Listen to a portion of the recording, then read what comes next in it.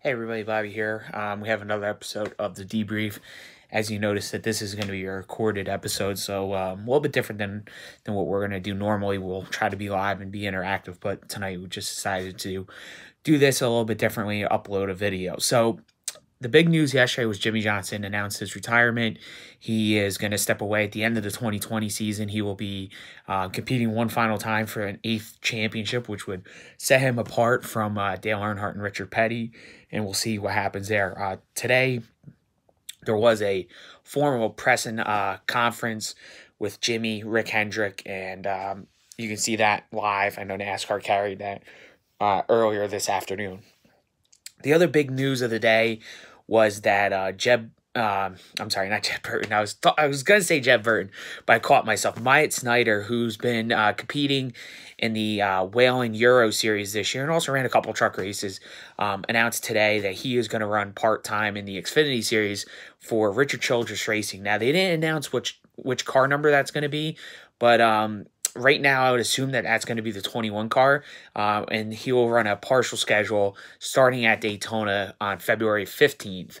And his sponsor, TaxSlayer, which is um, came back into NASCAR for a couple truck races with Myatt um, this past season, will be going over to Richard Childress Racing. Again, not a number of races announced, just that they're going to be going over there and running a select schedule is the terminology that RCR used.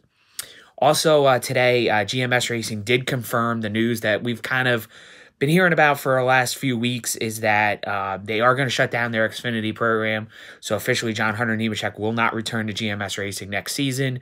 Um, they've decided that um, they're going to move on from that program.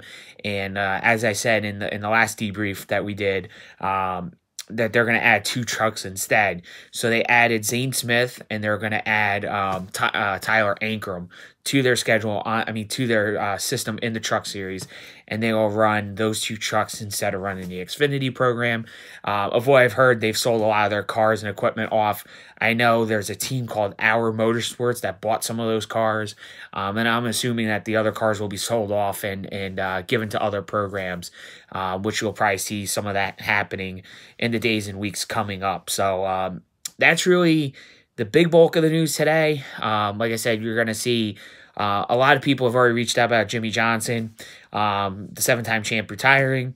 The other news of the day was Ryan Blaney announced uh, and Team Penske that he's going to have a four race sponsor with Advance Auto Parts.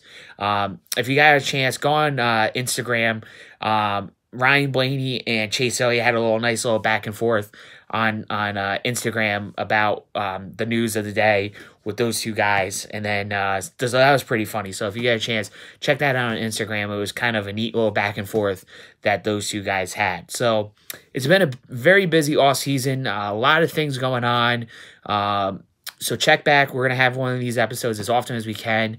Uh, like I said, they're going to be short. They're going to be news driven. Um, maybe not as interactive as the regular shows that we do, but uh, hopefully this gets you guys the news quickly, what you need um, that's going on this off season, and we'll try to do these, like I said, as often as possible. So that's all for today, um, and then we'll catch you guys probably tomorrow.